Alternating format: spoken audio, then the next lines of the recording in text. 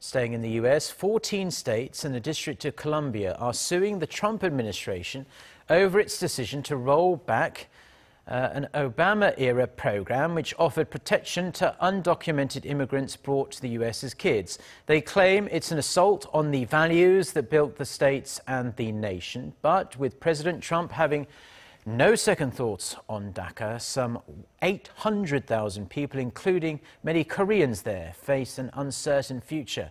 Cha Sang-mi reports.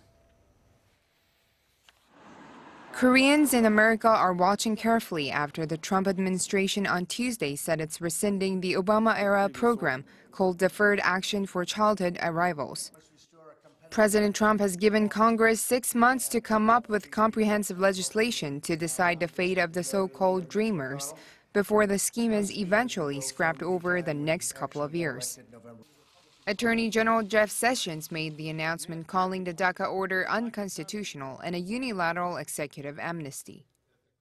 The end of DACA means those covered by the program, an estimated 800,000 young people, including around 8,000 South Koreans, possibly more, could be deported starting next March, and first-time applicants will not be acted on after this Tuesday. The five-year-old program gave two-year work and study permits to undocumented immigrants under the age of 30 who entered the U.S. illegally as children if they provided their personal information.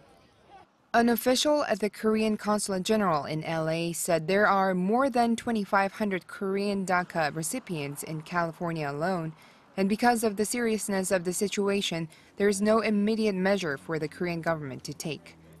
The Korean American Federation of LA said among the Korean DACA recipients, there are more students than workers.